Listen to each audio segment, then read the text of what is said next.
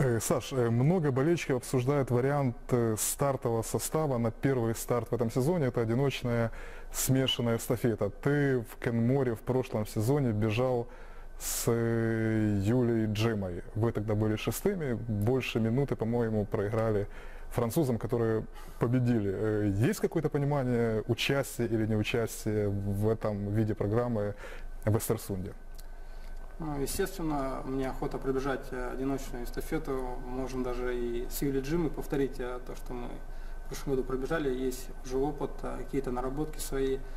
Вот. И если тренер решит, что нужно бежать мне, то, естественно, я выйду на старт и сделаю все возможное. То есть у вас разговора на эту тему еще не было? Еще конкретно у меня был разговор, да.